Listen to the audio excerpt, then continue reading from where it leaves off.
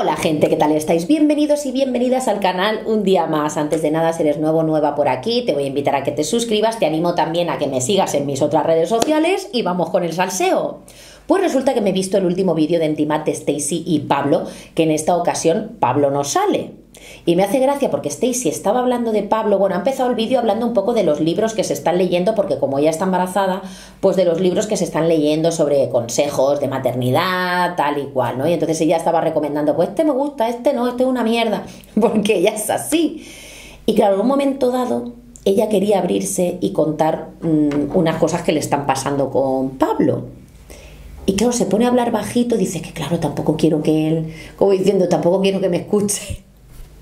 Dice, no sé cómo le va a sentar. Es que a mí me hace gracia, es que me hace gracia el mundo influencer, de verdad. O sea, eh, te pones a hablar bajito, no sabes cómo le va a sentar a él, ¿sabes? Pero, pero eh, al día siguiente se va a encontrar ese vídeo colgado en Entimat y no solo lo va a ver él, sino que lo va a ver todo el mundo. En fin, cosas de influencer, nena, yo de verdad. Pero es que me ha hecho mucha gracia, ¿sabes? Porque estaba ella, bueno, no sé cómo le va a sentar, pero me, me suda todo el coño, lo voy a explicar. en fin, que por lo visto ella está un poco preocupada, dice que ella, su relación está bien, o sea, ella eh, y Pablo están muy bien, solo que ella le nota raro. ¿Sabes? Dice, a veces es como si fuéramos dos desconocidos, ¿no? Como si nos tuviéramos que volver a reconocer otra vez, ¿sabes? Dice, porque es todo nuevo, dice, yo he cambiado, tanto físicamente como hay cambios también por dentro, o sea, eh, y yo no sé si, si, ella se refería a que Pablo siente a lo mejor, eh, no, celos del bebé no creo, ella ha dicho más bien que él se siente como desplazado.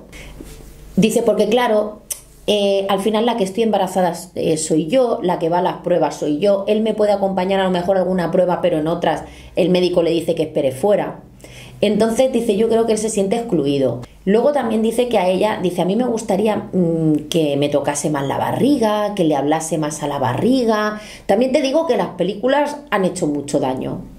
Las películas y, todas estas cuentas de maternidad, no, es broma, es broma, es broma. Es cierto que hay cosas que antes no se hacían o no le, daban importancia y que ahora pues sí, oye, háblale a la barriga, cántale a la barriga. Yo es cierto que mm, yo para mí eso no es una señal de alarma de que mi pareja le pase algo, o sea, quiero decir, pues a mí mi pareja pues sí, pues me ponía la mano, claro, lógicamente, pero mm, no recuerdo especialmente que le haya cantado a la barriga o que le haya contado cuentos a la barriga, no, no me meto con ello, ¿eh? o sea, quiero decir que me parece estupendo, ¿eh? me parece muy bien, pero quiero decir que entiendo las necesidades de cada, de cada mujer, de cada madre, ¿vale? Pero que a lo mejor no es algo que, que bueno, que cada persona es un mundo, que a lo mejor Pablo no es de hablarle a la barriga, no sé si me explico. Dice, y claro, eh, a mí me gustaría que, pusiera más la mano, que tocase más la barriga, que no sé qué. Dice, y a veces le digo, mira Pablo, ven, ven, mira, toca, toca. Y, él como que se cansa y se va. Eh, porque dice que, claro, dice, a lo mejor pone la mano, ¿no? Porque en ese momento ya está sintiendo como movimientos. Dice, y, y claro, a lo mejor en ese momento que él pone la mano, eh, la niña para Dice, y hasta que no vuelve otra vez a activarse, pues pasan cinco minutos. Pues él ya se ha cansado de esperar y, retira la mano, ¿no? Y eso a ella, pues le duele un poco porque no, es como, ojo, parece que, que no tenga tanto interés o a lo mejor no tiene el mismo interés que yo. Yo siempre lo he dicho que un, un hijo, hay gente que dice, vamos a tener un hijo para salvar la pareja. No lo digo por ellos, ¿eh? No, es, es, es algo que se dice, ¿no? Oh, vamos a tener un hijo para, salvar la pareja, no sé qué. Y realmente muchas veces un, un niño desune. De verdad, porque ahí empiezas a conocer a la persona de otra forma, o sea, tu pareja la empiezas a conocer como padre o como madre. Y empiezas a conocer a una persona que tú no conocías, ¿eh? Y unos instintos y unas cosas y, una, y un carácter que tú no conocías hasta el momento. Sobre todo las mujeres, que como cuando somos madres nos transformamos y somos como leonas. ¿Sabes lo que te digo? Es como, no sé, eh, ahí tiene que haber, y luego en, toda la educación de los niños, eh, eh, cada uno tira por un lado, o sea, tienes que estar, habrán cosas en las que vayas a una con tu pareja y lo ideal es eso, ir a una y no que papá te diga esto o mamá te consienta o, o al revés, tal, ir a una, pero sí que es cierto que hay cosas en las que no, no vais a estar de acuerdo en cuanto a, a la educación entonces eh, ahí surgirán muchas veces, eh, pues bueno, pequeñas discusiones y tal que pueden ser sin importancia o puede que no. Dice, a lo mejor se siente como un esclavo, porque claro, ella dice que ella está muy cansada, que tiene que ir al médico porque, porque ella se nota como muy cansada, muy falta de energía. Mm, dice, a cada rato, dice, por ejemplo, vamos a un sitio, un coche pues entra él solo a la tienda o donde sea, dice, porque yo me quedo durmiendo en el coche porque estoy cansadísima, dice, yo antes, por ejemplo, cocinaba cada día, pues ahora no cocino, o las tareas de la casa, por ejemplo, pues no, no me esmero tanto, dice, porque yo, porque es que estoy tan cansada siempre, y es verdad que eso pasa. Es verdad que tienes las energías más bajas, que siempre tienes como sueño, no, todo, no en todas las mujeres es igual, pero sí que suele pasar. Entonces, claro, dice, eh, o a veces le digo, lleva tú las bolsas, Pablo, que no sé qué, que yo no... Dice, y yo no sé si él a lo mejor se puede sentir como un esclavo, dice, pero porque él piensa que yo estoy poniendo excusas, o sea, como diciendo que estoy utilizando el embarazo como excusa para mandarle a él a hacer las cosas. Por ejemplo, no me apetece limpiar, es que estoy embarazada, ¿no? No me apetece cocinar, es que estoy embarazada. Luego dice, claro, eh, yo entiendo que yo ahora mismo pues soy un muermo. Dice, soy un muermo porque no puedo, pues no puedo beber, no puedo, dice, me he quitado de bebé. Eh, no, no puedo, hombre, si puedes salir, pero a lo mejor pues no bebes, pues no tal. Dice, hombre, que me puedo tomar una copa de vino que me la ha dicho el ginecólogo, ¿eh? Y hasta dos, y hasta una botella entera. A ver, eh, lo ideal es no beber. ¿Sabes? No me voy a meter yo con lo que diga cada ginecólogo, ¿eh? Pero, hombre, pues lo ideal, no, lo ideal es no beber alcohol. Pero bueno, que también te digo, mm, es que eh, es un proceso de embarazo, es que lógicamente, lógicamente ya no vas a... no, no, tu vida cambia, pero no solo con el embarazo, es que tu vida cambia porque a partir de, ya cuando nazca la criatura, tienes que estar pendiente del niño 24/7. Y tu vida cambia por completo, por supuesto. Se acabó el salir, hombre, se acabó el salir. Puedes dejarle el niño algún día con alguien de confianza, con tus padres, tus hermanos, yo qué sé. Pero, pero se acabó la fiesta, se acabó el salir, se acabó el... O sea, preferiblemente hay que estar sobrio, ¿sabes? También para cuidar a esa criatura.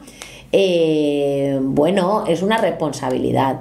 ¿sabes? Es una responsabilidad, entonces sí pasan estas cosas, incluso puede llegar a pasar, te puede llegar a pasar por la cabeza, ostras, eh, hay gente que se arrepiente, ¿eh? Bueno, luego quiere a sus hijos un montón, pero le pasa por la cabeza la idea esta de, joder, habré hecho bien. Habré hecho bien porque yo tenía una vida guay, feliz, tal y cual, y, ahora pues va a ser esto un coñazo, ¿no? Eh, luego también habla de que de que ella no le busca a él para el sexo, dice, pero es que él tampoco es que esté receptivo. Eh, como que esto también cambia, es que es normal, tío, es que es normal, es que, bueno, pues habrá a quien le apetezca mogollón, pero también es lógico que si tú estás cansada, tienes la libido baja, tal igual, pues a lo mejor no te apetece tanto tener, tener sexo, ¿no? Es lógico.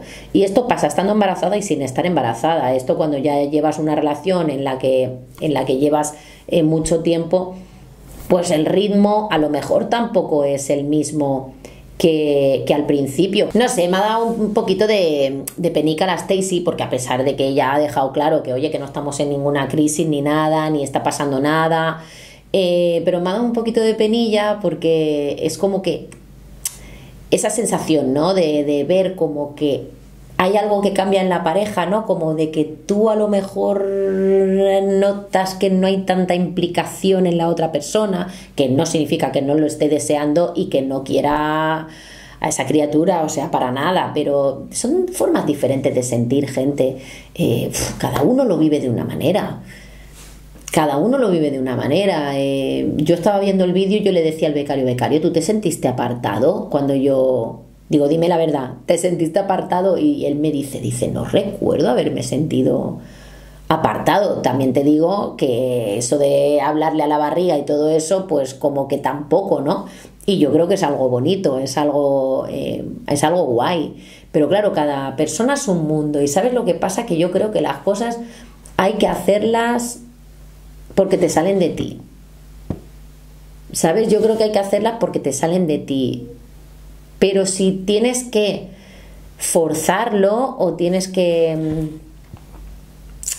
mm, no sé cómo decirte, es que me gustaría que le hablara más a la barriga o le gustaría, me gustaría que estuviese más pendiente tal, me gustaría que tocase más la barriga. Pues a lo mejor hay que respetar los tiempos de cada persona y a lo mejor ahora no le da por cantarle eh, Manolo García a la barriga, ¿sabes? Pero a lo mejor cuando nazca la niña no la suelta y la, tiene todo el rato en brazos, ¿sabes? Es que eso no tiene nada que ver. Ahora es una etapa como de adaptarse. El embarazo es una etapa rara. o sea, hay gente que le encanta, ¿vale? Hay mujeres que les encanta estar embarazadas, hay mujeres que dicen, mira, de verdad yo no quiero volver a pasar por esto. y es una etapa rara, sencillamente, ¿no? Eh, no sé, gente, eh, dejadme en los comentarios a ver qué opináis acerca de todo esto. ¿Cómo pasasteis vosotras vuestros embarazos? ¿Vuestras parejas cómo reaccionaron a ello? ¿Se sentían apartadas? ¿No se sentían apartadas? Dejádmelo en los comentarios también. Si os ha gustado, darle like, compartir, suscribiros al canal, activar la campanita de notificación en la opción de todas. Os mando un abrazo muy fuerte, un beso enorme. Nos vemos en el próximo vídeo.